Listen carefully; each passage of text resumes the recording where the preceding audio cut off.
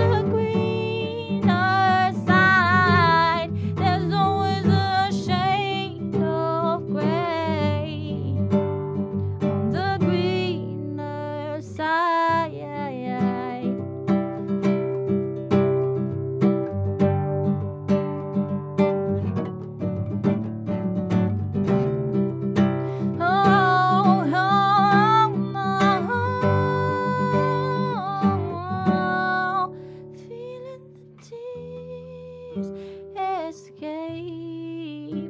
As I watch your fingers slowly walk away, holding a smile, the one you helped me to build. Cause there's always a shadow.